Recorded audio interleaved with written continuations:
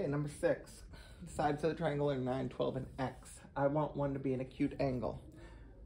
Me, I'm going to start with my, um, I'm to call it hypotenuse, the uh, side down here, the side that I'm looking for. x squared to be acute needs to be less than 9 squared plus 12 squared, which means that x squared needs to be less than 81 plus 144, which means that x squared needs to be less than 225, which means that x needs to be less than 15. Um, so x needs to be less than 15 to make it acute, but there is a minimum for this. Um, if x kept on shrinking and shrinking and shrinking and shrinking and shrinking and shrinking and shrinking, eventually um, it's going to be too short to make this triangle. So I've got to subtract 12 minus 9 to find that minimum length for x, um, which is 3.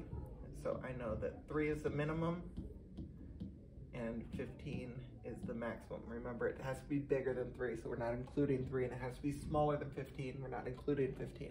If x were exactly 15, it would be a right triangle. We don't want that. We want it smaller than that. And so those are my answers. And I'm writing all over my next problem.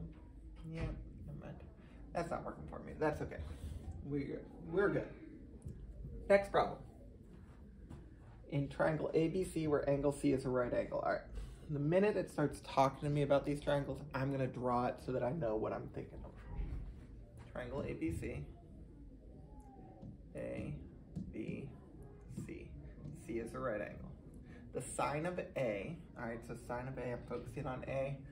Sine of A means opposite over hypotenuse, so the opposite is 3, the hypotenuse is 4. Now, that leaves me with one unknown side.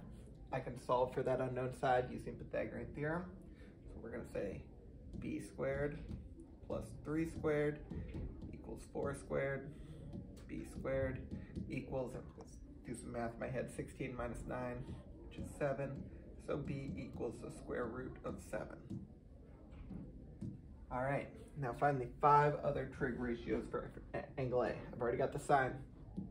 So that means I need cosine of A. I need, actually, let me just write them all out. Sine of A, cosine A, tangent A. And then I've got cosecant A, secant A, and cotangent A. All right, sine, I already knew. That was the one that we already did, so that's 3 fourths. Cosine of A, adjacent over hypotenuse, so that's square root of 7 over 4. Tangent of A, opposite over adjacent. 3 over root 7, I'm going to just jot that down because that's going to help me later on. 3 over root 7, I'm going to simplify that a little bit though. So 3 root 7 over 7. Cleaner way to write that. Cosecant, now I can just take these and flip them, right? Reciprocal. And so cosecant is 4 thirds. Secant is again, um, I've got to kind of clean this up. So 4 over root 7 is what I'm thinking in my head. But when I multiply that by root 7, I end up with 4 root 7 over 7. And then reciprocal, this tangent, if I start with this one, I'm going to end up with that square root in the denominator. So I start over here. We end up with the square root of 7 over 3.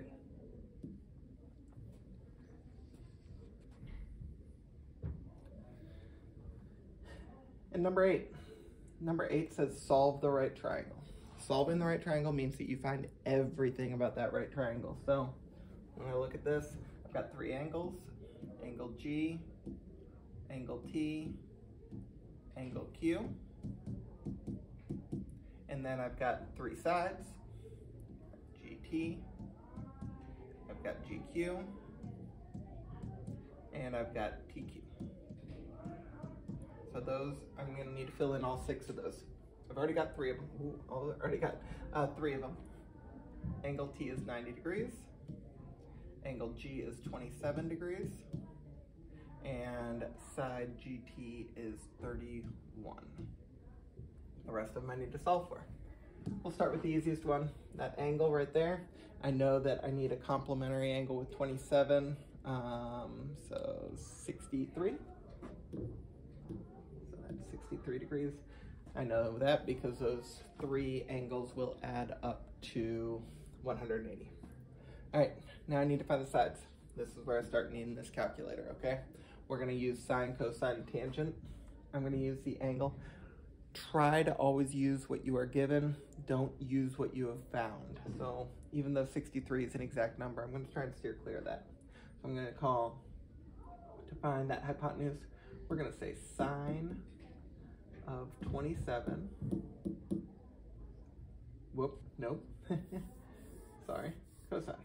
Cosine of 27 is equal to adjacent 31 over hypotenuse right there. Um, so I'm going to try and solve for that hypotenuse.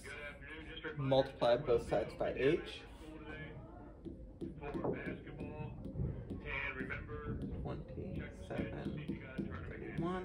And now I can go over to my calculator and I'm going to divide 31 divided by uh, functions, uh, cosine 27. And right now, as I'm doing this, I'm realizing you see that negative number, something's wrong.